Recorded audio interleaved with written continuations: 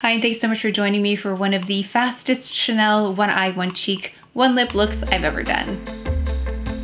Okay, so the reason this is a fast one is out of necessity. So we have already lost power a couple times here, so I wanted to finish this up before it completely goes because uh, yeah, I'm not quite sure what's gonna happen. So quickly though, we have this beautiful blush here. This is the 797. So this is one of the two that they released. I also have this lip color here, number 150 in the Rouge Coco Bloom. And this is perfect for a fast get ready with me. So this was created for a quick, easy application. These are new, it's their first loose powder that they have created for eyeshadows, according to the Chanel site. I have mine in 404. This is probably one of the quickest quickest eyes I've ever done. So let's go ahead and get started. Starting off with La Base Illuminatrice.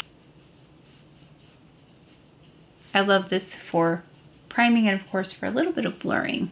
And although this is although this is a one eye, one cheek, one lip, I'm using mostly Chanel products today. And I have to kind of review all of these foundations. I'm gonna do a ranking of them, especially for my skin type, but I think it'll help inform if you have more oily or more dry skin as well. So we've got the Sublimage Le Teint by Chanel, and this is in my ideal shade in Chanel Foundations, BD41. So anytime there's BD41, that's the one I'm going to pick up first. This is such a lovely foundation too. So actually, I'm not sure how far off I am right now because of my tan. Just take a little.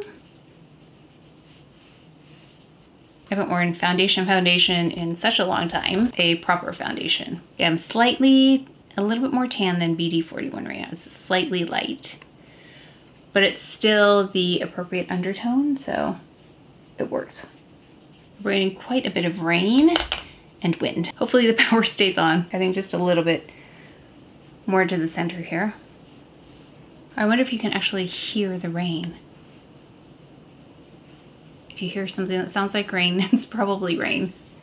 Okay, and then we've got here the Sublimage course, under eye concealer that I love in 40. So it's definitely got a cooler undertone here. So I'm gonna add, gosh, this is such a beautiful blush. I'm gonna put on here in a moment, can't wait. Uh, ooh, that's too much, see? That's too much. But I am gonna finish up this here, gotta thin this out a little bit. Go in with the Clé de Peau concealer for my dark spots. Let me do my eyebrows as well. I'm going to use the Dior products for the brows, their pencil and the gel. And then we'll get to the rest of the makeup. So let me quickly do that whole routine. We'll blend that in, don't worry. Honey, Clé de Peau. So always being able to go in with less foundation and spot conceal where needed. No need to cover up all of my skin. to take the excess.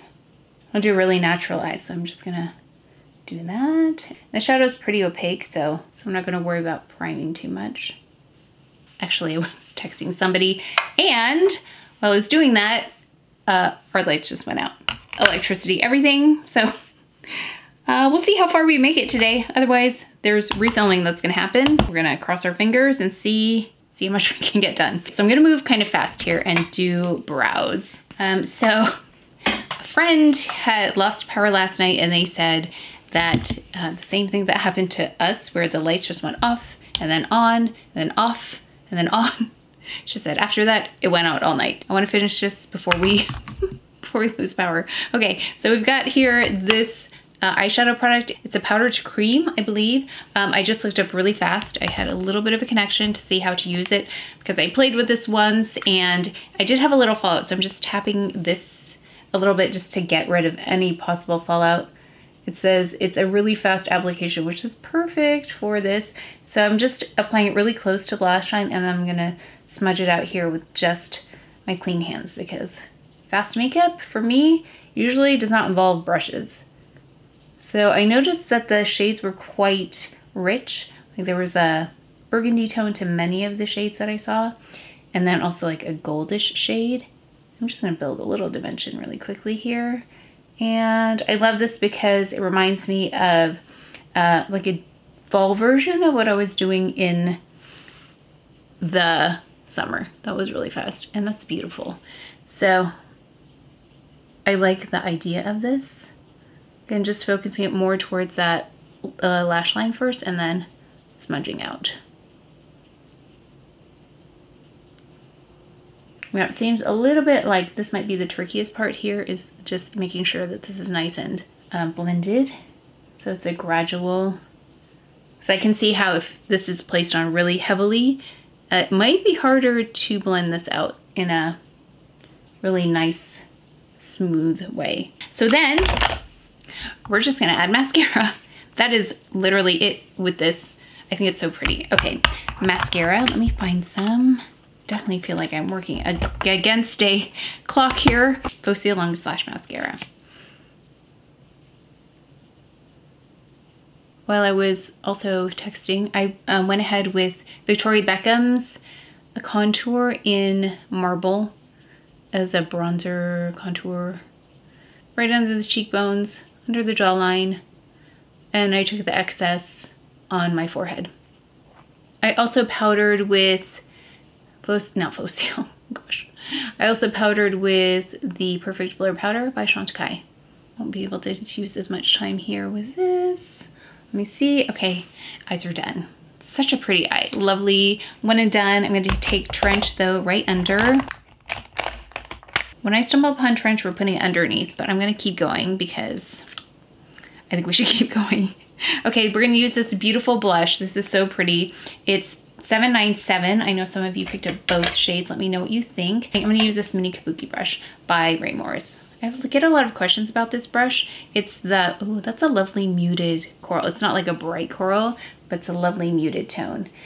Oh, makes me wonder if it's like, um, what was that one? Brun Rouge, maybe? Reminds me of that, like apricot kind of burnt apricot me see what I can pull out that reminds me of this blush, but it's beautiful. I love the way it's applying. It's like a baked gelée performance kind of thing. There's a bit of a glow, just a hint of a glow, nothing too much. Like um, Jersey has more glow than this. And I don't know where it's coming from. It might be within the blush. I'm not sure, but that's beautiful. Ooh, this is gonna be really pretty when I want cheek one lip. Oh, what was I saying? And I went in with, oh, Chantecaille's Perfect Blur Powder. That's what I was saying. I do have a little darkness in there. What's that? I have to make sure not to touch the rest of my face with that, uh, the residue of that eye eyeshadow. Beautiful blush. That is gorgeous. So if you picked this up, you probably love it. I don't know if I need the mauve.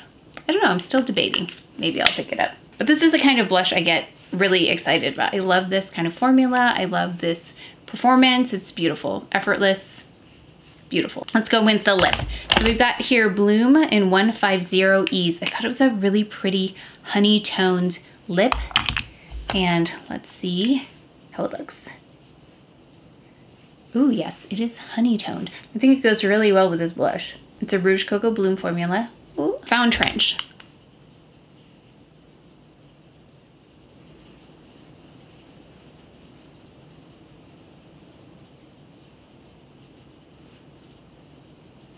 Okay, so quick recap here. Love this blush. If you wanted to get it, we're thinking about it, it's definitely one of the prettiest blushes I've tried this year. It's lovely. I love the tone. I love the way it applied. You can see I didn't refine it too much. I didn't have much time to do that, but it looks really beautiful as if it were one with the skin. Oh, I also forgot to mention I did add a little bit, little bit of La Prairie there, uh, like I normally do. I think I skipped over that really fast. And then let's talk about this lip color. It's a lovely formula, the Rouge Coco Blooms.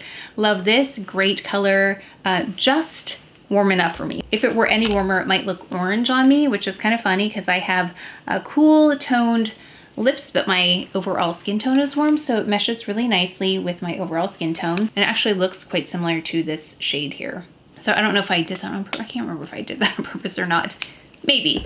And then we've got this. So let's do this since I have time and we still have electricity. I'm gonna just remove a little, I'm gonna go a little bit more intense here just to see how we can build this up because it said you could add two layers for intensity. So let's just do that since we have some light. And let me just show you the side by side here. I can see how layering these would be beautiful. So this is a really beautiful product.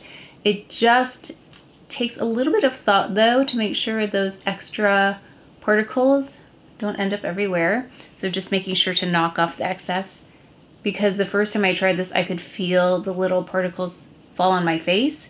So I definitely know that that can happen, but also mitigating it just by doing this, you can get those extra loose particles off of there. But it's a really, I hope they keep these because I think they're beautiful. I love some cooler tone. It seemed like they had a, some very rich, like burgundy-ish tones from what I could see. Rose gold, there's that gold. I love some cooler tones here. I picked this because I thought it was actually going to be cooler than this, but it's beautiful. I'm glad I picked this shade up. So I don't know, like I said, if this is permanent or not, but I love the ease of use here. It's very smooth, lovely. And then um, we could go, oh, that's a lot already. Then we could also go underneath a little bit, just connect if you want, just slightly. Okay, glad we had a little chance to play here for those who want a little bit more visibility on your eyeshadow.